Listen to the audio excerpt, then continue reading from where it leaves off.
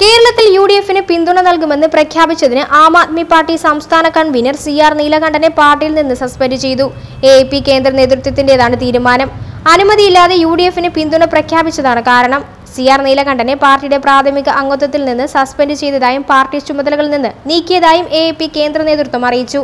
അതേസമയം കേരളത്തിൽ എ പിയുടെ പിന്തുണ എൽ ഡി എഫിനാണെന്ന് നേതൃത്വം പ്രഖ്യാപിച്ചു. ഡൽഹിയിൽ C P M A P നേതാക്കൾ നടത്തിയ ചർച്ചയെ തുടർന്നാണ് തീരുമാനം. കേരളത്തിൽ എൽ ഡി എഫിനുള്ള പിന്തുണ നിരുപാധികമെന്ന് എ പി അറിയിച്ചു. എതിർ സ്ഥാനാർത്ഥി തടസ്സവാദം ഉന്നയിച്ചതിനാൽ അമേഠിയിൽ രാഹുൽ ഗാന്ധിയുടെ നാമനിർദ്ദേശ പത്രികയുടെ സൂക്ഷ്മ പരിശോധന മാറ്റിവെച്ചു. ഏപ്രിൽ ഇരുപത്തിരണ്ടിലേക്കാണ് സൂക്ഷ്മ പരിശോധന മാറ്റിവെച്ചതെന്ന് അമേഠി ലോക്സഭാ മണ്ഡലത്തിലെ റിട്ടേണിംഗ് ഓഫീസർ അറിയിച്ചു. രാഹുൽ ഗാന്ധി നാമനിർദ്ദേശ പത്രികയോടൊപ്പം സമർപ്പിച്ച സത്യവാങ്മൂലത്തിൽ ഗുരുതര പിഴവുകളുണ്ടെന്നാണ് സ്വതന്ത്ര സ്ഥാനാർത്ഥിയായ ധ്രുവ്ലാലിന്റെ ആരോപണം. ബ്രിട്ടൻ ആസ്ഥാനമായി രജിസ്റ്റർ ചെയ്ത കമ്പനിയുടെ വിവരങ്ങൾ രാഹുൽ ഗാന്ധി ബ്രിട്ടൻ പൗരനാണെന്ന് രേഖപ്പെടുത്തിയെന്നാണ് ധ്രുവ്ലാൽ ആരോപിക്കുന്നത്. അതിനാൽ ഇന്ത്യൻ പൗരനല്ലാത്ത ഒരാൾക്ക് തിരഞ്ഞെടുപ്പിൽ മത്സരിക്കാൻ കഴിയില്ലെന്നും ഇയാൾ ചൂണ്ടിക്കാണിക്കുന്നു. ഇതിനു പുറമെ രാഹുൽ ഗാന്ധിയുടെ ശക്തിവാങ്മൂലത്തിൽ പറയുന്ന കമ്പനിയുടെ ആസ്തികളെക്കുറിച്ചും ലാഭവിഹിതത്തെക്കുറിച്ചും വിശദമാക്കിയിട്ടില്ലെന്നും ആരോപണമുണ്ട്. രാഹുൽ ഗാന്ധിയുടെ തിരഞ്ഞെടുപ്പ് പ്രചാരണത്തിനായി വയനാട്ടിലെത്തിയ പ്രിയങ്ക ഗാന്ധി ബി ജെ പിക്കും കേന്ദ്ര സർക്കാരിനെതിരെ രൂക്ഷ വിമർശനം നടത്തി. അതേസമയം രാഹുലിനെ ചുവട് പിടിച്ച് സംസ്ഥാന സർക്കാരിനെതിരെയോ ഇടതുപക്ഷത്തിനെതിരെയോ നേരിയ വിമർശനം പോലും നടത്താൻ ശ്രമിച്ചില്ലെന്നതും ശ്രദ്ധേയമായി.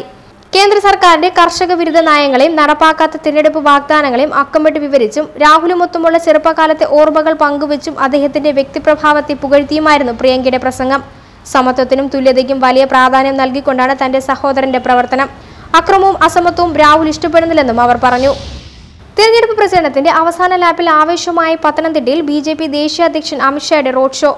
ദേശീയ അധ്യക്ഷനെ തന്നെ രംഗത്തിറക്കി വിശ്വാസ സംരക്ഷണം എന്ന ഒരൊറ്റ വിഷയത്തിലേക്ക് പ്രചരണ വിഷയം കേന്ദ്രീകരിച്ചിരിക്കുകയാണ് ബി ജെ പി. തിങ്ങി നിറഞ്ഞ ആൾക്കൂട്ടത്തിന് നടുവിലൂടെയാണ് റോഡ് ഷോ പുരോഗമിച്ചത്. റോഡ് ഷോയ്ക്കിടെ നേരിയ മഴ പെയ്തെങ്കിലും അത് പ്രവർത്തകരുടെ ആവേശം കെടുത്തിയില്ല. പ്രധാനമന്ത്രി നരേന്ദ്രമോദിയെ പത്തനംതിട്ടയിൽ എത്തിക്കാൻ ബി ജെ പി ശ്രമിച്ചിരുന്നെങ്കിലും സുരക്ഷാ കാരണങ്ങൾ കാരണം അത് നടന്നില്ല. നാളെ തെരഞ്ഞെടുപ്പ് പ്രചരണത്തിന്റെ കൊട്ടിക്കലാശം നടക്കാനിരിക്കെയാണ് ഏറ്റവും പ്രധാനപ്പെട്ട നേതാവിനെ തന്നെ ബി ജെ പി രംഗത്തിറക്കിയത്.